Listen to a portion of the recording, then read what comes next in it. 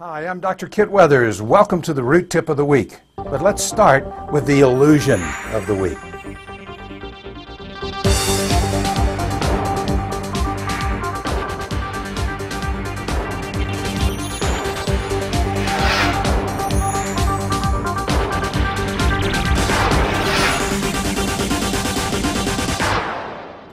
Hi, today's root tip involves canal projectors. So I thought it might be fun to use a magic trick that involves thought projection. In just a moment, I'm going to bring in Jill to help me by picking any one of these items. I'm going to make her pick the Coca-Cola. The problem is, as you'll soon see, we did this in front of a green screen, and that's where green is the background, and we can replace that with any set we want. And this is the way the weathermen do their tricks and that sort of thing. But what I didn't realize was, in front of a green screen, you take a bottle of green Coke, and it pretty much disappears. And that's the same thing for a clear glass. A lot of times most of the glass will disappear. So we're going to do a couple of magic tricks that I didn't plan to do. And please forgive me, but I think you'll be able to see the effect anyway. I didn't want to reshoot this because I explained to Jill how the trick was done, and I don't want to give that away. So let's go ahead and, and bring Jill in, and we'll show you how this works. Okay, today's experiment has to do with the canal projectors you just saw, and I'm going to try to project an image into Jill's mind. Do you mind, Jill? I don't mind at all. Okay. Have we prearranged anything? No, we have not. Okay. She has no idea what I'm going to do. I'm simply going to ask you to concentrate. There's something in the bag, and I want you to get a picture of it in your mind. Okay. And then when you sort of get, it's one of these items. Okay. What I'd like you to do is just any two of them, pick, pick any two right now, pick up two of them.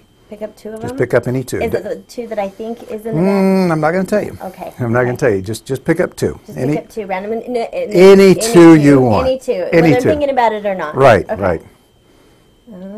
Salt and Coke. Okay. Now, you have free choice, right? Mm-hmm. I want you to give me one of those. Give you one. Doesn't matter which one. Is there a reason that you picked the Coke? Let me just show you something that I think you might find interesting as our little prediction right here. Is there anything else in the bag?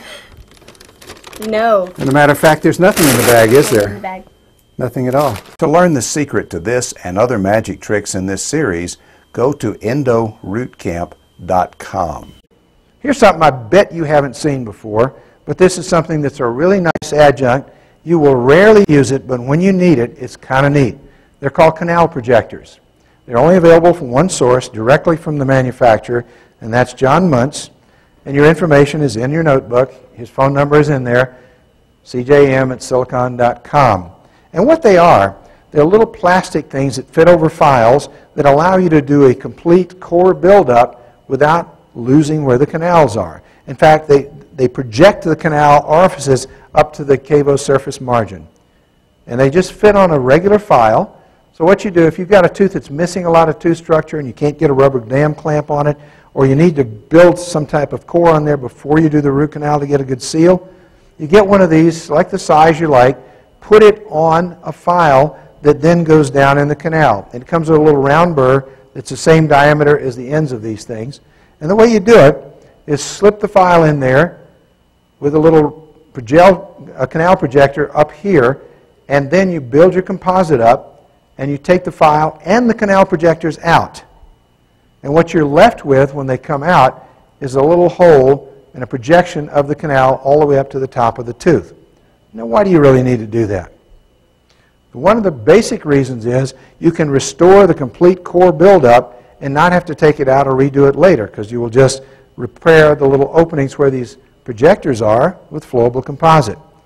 And you can then, once they're up to the top of the tooth, you can reduce the occlusion as Vince suggested yesterday, and then you've got a flat surface with your canals very visible, easy to find, not down in the pulp chamber, out of sight. This is especially important if you've got multiple canals that are very close together. So you can project to the surface of the model or to the tooth. This is especially helpful if you have internal resorption.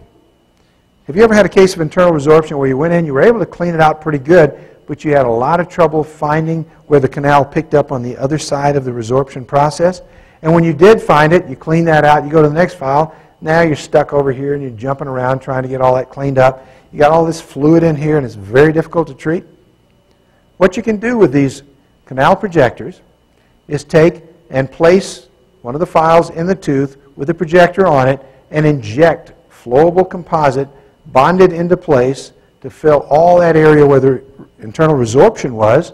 And now it just gives you a nice little cylinder when you take it out to do the root canal. And the root canal basically is already done all the way down to here because the canal projector gives you the perfect size and shape for a filling. And there's an example of that. Sometimes internal resorption can be caused by the dentist. You're looking around for a canal that you can't find, and you keep drilling. Go a little bit deeper. Where is that doggone canal? And you keep drilling, and you keep taking pictures, and you're going wider and wider, and you're all over the place looking. Finally, you find it. You just created the situation I talked about. You've got this area down here that you want to try to find from all the way up here.